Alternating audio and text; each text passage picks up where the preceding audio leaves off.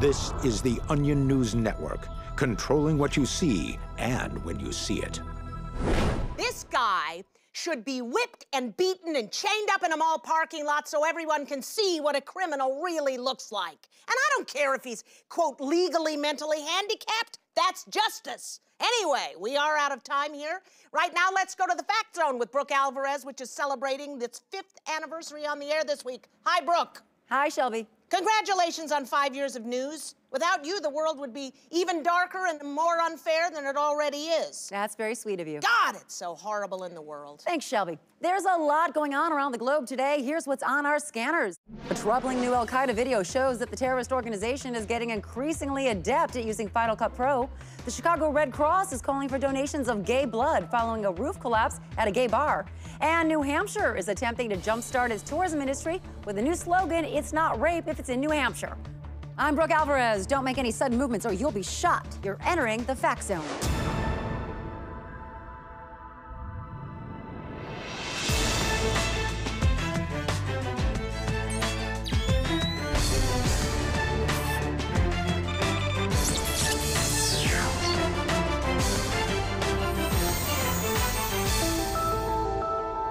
We're celebrating our fifth anniversary this week, and we couldn't have done it without all of you at home on your couches, sitting in silence, absorbing every word I say, navigating your lives around the information I feed you.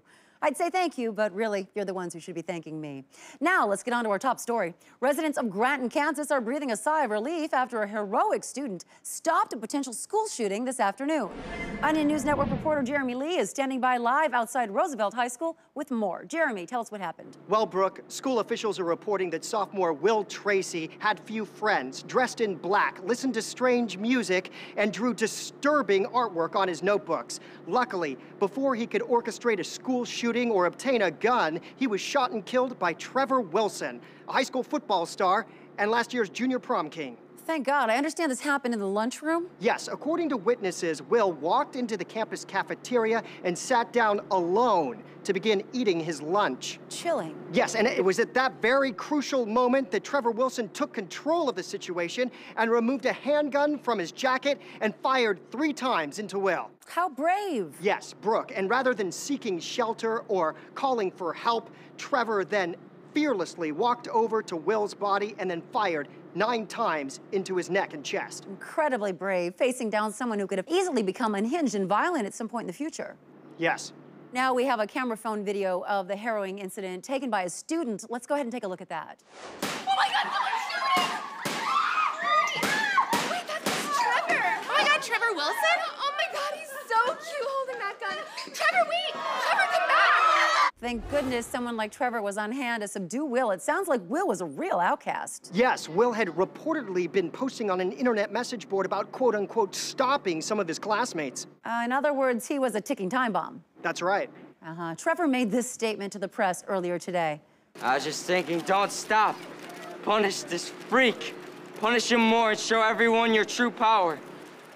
Brooke, uh, Brooke, we're getting word that, that Trevor has actually taken out four more potential shooters, including two band members and the fattest kid in school. Oh my God, amazing. Just incredible. It's good to see young people out there following through with something. All right, now let's head over to Tucker Hope at the Recon Wall. Hello, Tucker. Hi, we've had a great time walking down memory lane this week, haven't we, Brooke? Oh, we absolutely have. You know, it's always a treat looking back at the various Tucker Hopes we've had here at the Fact Zone. Well, I had some pretty big shoes to fill after the previous Tucker Hope. Yeah, well, out of the seven Tucker Hopes we've had, you rank somewhere near the top. Well, every day that I get to be here is an honor, and I just hope that there are many more days of being Tucker Hope ahead of me. Uh, we'll see. All right, well, Octomom Kate Gosselin and Michelle Duggar had better step aside because a new mother of multiples is stealing the spotlight. Zorla Gorgalon was living an extremely private life in Tularosa, New Mexico until last Saturday when she gave birth to 352 babies. Unlike most of her counterparts, apparently Zorla wasn't taking any fertility drugs. She told hospital staff she was, quote, just a regular human woman who got lucky. Also, unlike other multi-moms, Zorla seems to be shunning the spotlight. This morning, as the Gorgalon clan left the hospital and headed back home, Zorla refused to speak to reporters.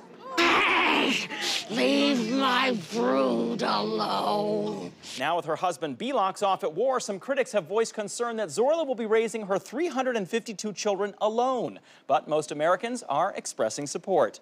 I love her. She's a mom and she's fierce. I saw this clip of her feeding her babies. She ate about 40 pounds of raw silica and then she regurgitated into the babies' mouths. I heard that her babies aren't big criers, you know? That's amazing. Like they hum in unison. This is one family we'll be excited to watch in the months to come. Now, before we move on, Brooke, in honor of your five years of grace and poise at the helm of the Fact Zone, I've put together this modest tribute. She's been called the most powerful woman in news, as strong as a lioness, as beautiful as a dream. For those fortunate Tucker, enough I'm going to have to cut you off there. Oh, sure. We've got a breaking news blast coming in now. We're going live via telephone with reporter Don Abrams in San Francisco, California, where we're being told that a woman is crying on a train platform in front of dozens of other commuters. We're seeing live security camera footage of the crying woman, and she does look very upset. Don, are you there? Bring us up to date on the situation. Brooke, this was just a normal train station until a few minutes ago when this woman began loudly crying and making everyone extremely uncomfortable. It started as a muffled, heavy breathing, relatively easy to ignore whimper, but has now developed into full blown sobbing. Don, it sounds like a very awkward situation there. It is, Brooke. Everyone is making eye contact with each other as if to ask, what's her deal? And no one quite knows if they should do something. I think it's safe to say commuters at this train station have not been this uncomfortable since 2004 when a mother slapped her child for dropping his juice box. Don, we're receiving a U News cell phone video now of the crying woman. Okay, she doesn't appear to be drunk or insane. That rules out the two primary causes of crying in public. What else could it be? It's unclear at this time, Brooke. Maybe someone she knows suddenly died. Perhaps she just lost her job. Have you made eye contact with the crying woman at all, Don? No, I have not. I've been very careful not to do that. Every time I glance in that direction, I pretend to read a community college advertisement on the wall or look for a clock. Are you going to try to the woman to is now walking right toward me. Don? Don, can you hear me? I'm I'm here, Brooke. She's now standing just a few feet away from me. I have to pretend like I'm talking about something else. Yes, it was a fun party.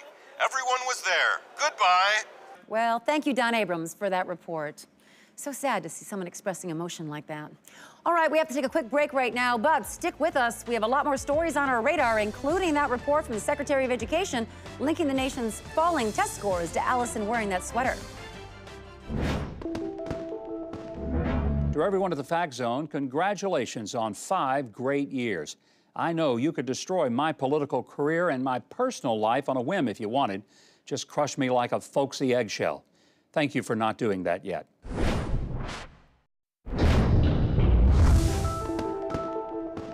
Place your hand on the television for a fingerprint scan. You're back in the Fact Zone on the Onion News Network. I'm Brooke Alvarez. Right now, let's go to Los Angeles, where a female escort contacted major media outlets claiming actor Ben Affleck paid her for sex dozens of times over the past year. That escort, Jasmine James, joins us now in an Onion News Network exclusive interview. Hi. Hi, Jasmine. Tell us, why are you coming forward with this information about Ben Affleck now? Well, last week I saw him on TV with his wife. Um, Jennifer Garner? Oh, yeah. Wait. No, Ben Affleck is the one that's married to Jennifer Garner? Yes. Oh, no, no, that's not him then. The guy I was talking about, I thought he, God, I totally thought his name was Ben Affleck. Okay, wait, so wait, you didn't sleep with Ben Affleck? No, he looks sort of like him. Oh, what is his name? Okay, but you did engage in sexual acts with some Hollywood A-list actor in exchange for money, correct? Oh, yeah, lots of times. Uh, oh, you know, he's like got brown hair and he's like really cute Okay. and he's like late 30s, 40s. He always sort of kind of plays the handsome guy. Was that Matt Damon? No, not Matt Damon. Uh, ew. What is his name? Okay, viewers, if you think you know whom Jasmine might have slept with, post it on Twitter. It will display it here on screen. Oh, you know what he was in? He was in a movie like about time travel. Okay, we're getting some suggestions here. Terminator, Primer. No, I don't think so. Is it John Cusack? No, this guy's more of a guy's guy. You know, he's like longer hair and he's like really into anal. Okay, was it Ethan Hawke? No. Orlando Bloom? Who is he again? Orlando Bloom, the guy from uh, Lord of the Rings, the elf. No, no, this guy was like more built. I remember because he kept wanting to choke me and I kept telling him to ease up a bit, you know? Yeah. oh, what is his name? B. B. Uh, B? Yeah. Uh, was that the first or the last name, Jasmine? Last? Okay. Um, Gerard Butler? Pierce Brosnan? I mean, I said Orlando Bloom, right? I'm covering all the bees here, Jasmine. Eric Bana.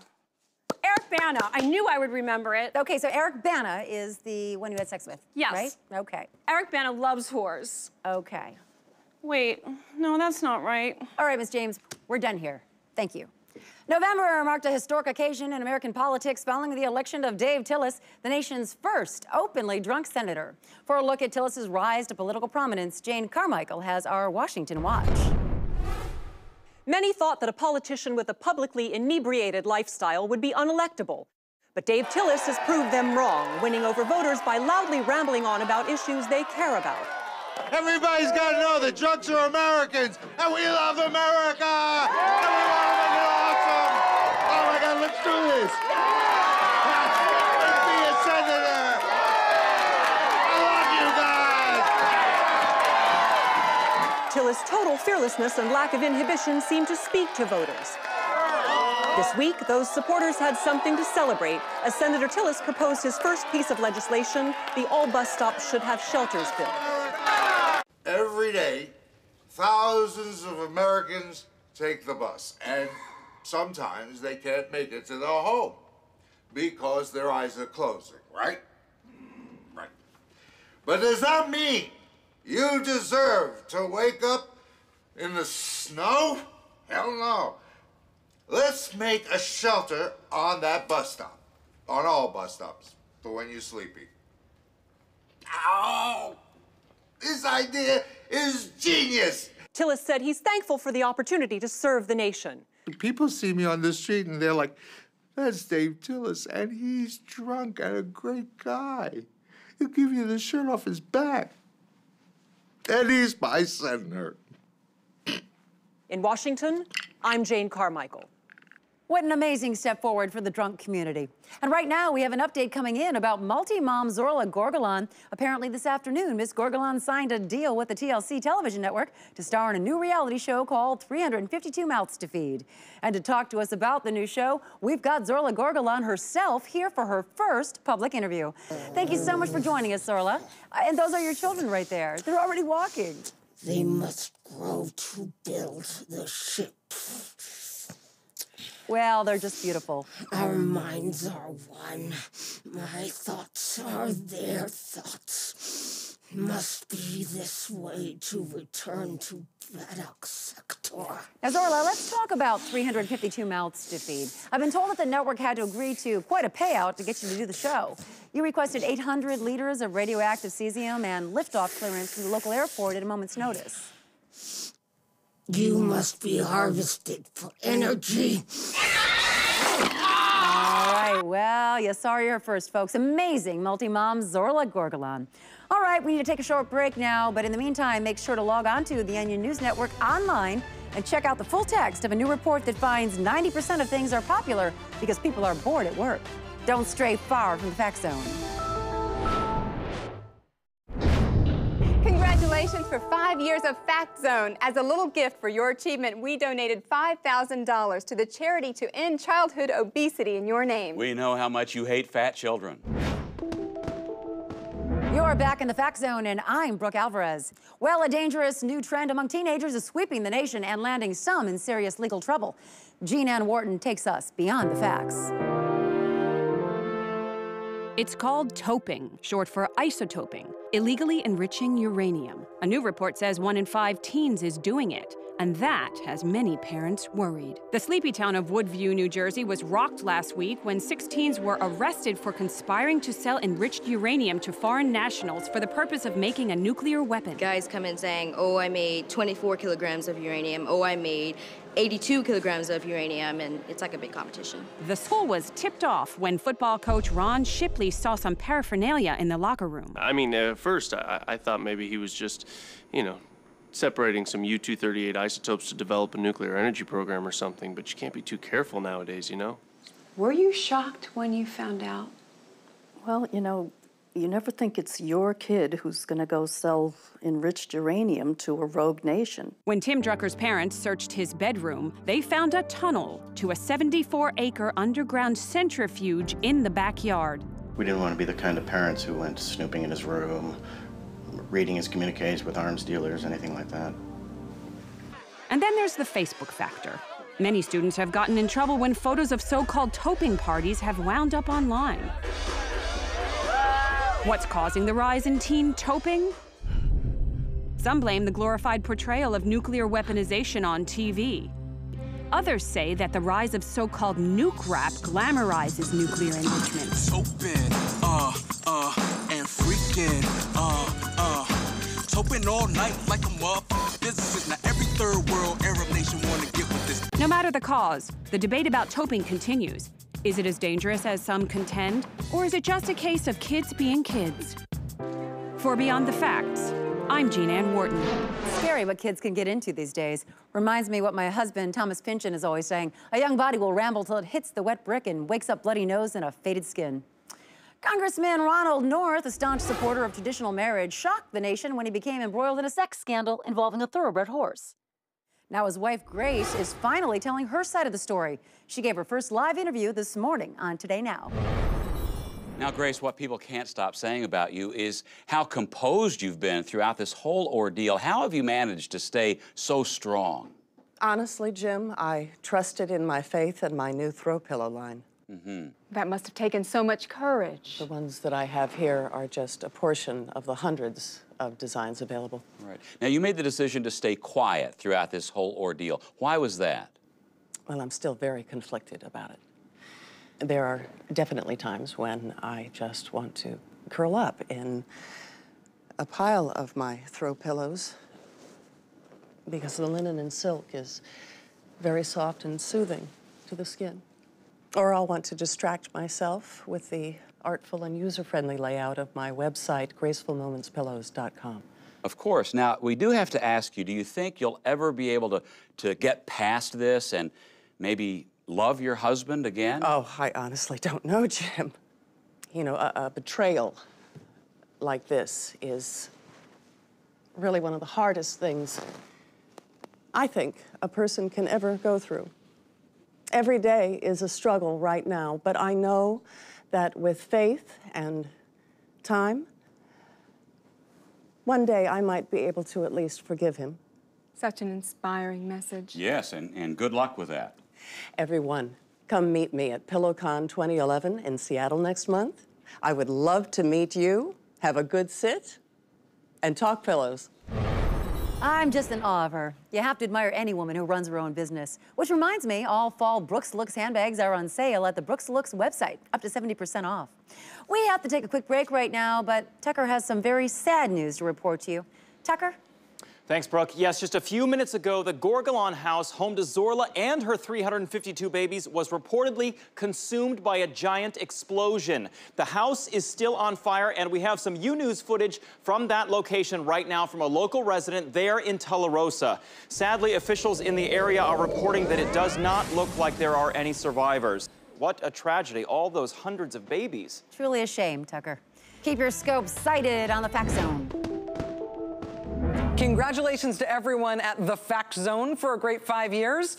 Brooke, I know we've always had kind of a friendly rivalry. I'm sort of a hyper earnest nerd type. You're more of a cheerleader, cruel bitch type, but it, it's all in good fun. Keep up the good work, you wretched hell wraith. The staff is working as quickly as they can now to remove all racist antiques from the White House before the Obamas move in. Gentlemen, you are both dodging questions. Senator, how many people have you killed? And you, Senator, does free will exist? And if so, how would we know?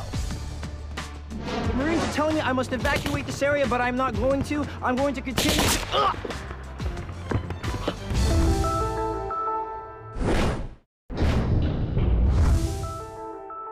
We have some very urgent breaking news coming into the fact zone right now. The nation has descended into chaos after just moments ago it was discovered that the United States Constitution expired in 1987. The discovery was apparently made when an employee at the National Archives was cleaning the Constitution's hermetically sealed case and noticed an expiration date printed on the bottom right-hand corner of the document. Right now, the White House is attempting to quell the nationwide panic that's erupted. We urge everyone to please remain calm while we try to create a new framework for the organization of the United States government. I will take your questions now, uh, but be advised if I don't like your question, I may kill you with this gun as there are no laws anymore. Okay? All right, we're getting reports now that rioting has broken out throughout the nation as millions of Americans have suddenly realized that they are no longer beholden to any authority. Let's go live to John Harris in New York City. John, tell us, what is the scene like out there? Pandemonium, Brooke. People taking full advantage of having absolutely no legal uh, enforcement here on the streets. Property being seized uh, without repercussion. People quartering soldiers in their homes. Uh, I've seen several people being uh, taken in as slaves already. Now, apparently, the only thing separating animals and us was this single document. Are authorities doing anything there to maintain order? Brooke, there are no more authorities. Uh, we can't even call the military in because they disbanded immediately after hearing that uh, they no longer had a commander-in-chief. Okay, now people out here are literally driving around in tanks and fighter jets uh, randomly. hey, don't touch the camera. No, S Samantha. John, John, well, as long as our entire system of government is now null and void, I may as well take this opportunity to suggest myself as a possible future leader to rally around. Allow me to state my case. With my vast breadth of knowledge and undeniable charisma, I believe I'd make a skilled and effective commander of the post-American state. Say goodbye to the cowardice and indecision of the past. With Brooke Alvarez in charge, hunger, fear, and weakness would be but a distant memory. Those who would like to join me, meet me here at the studio, and we shall begin the task of creating a mighty new empire from the ashes of the old. The future is now, viewers. I'm your best option. Until then, thanks for watching The Fact Zone. Tread carefully out there.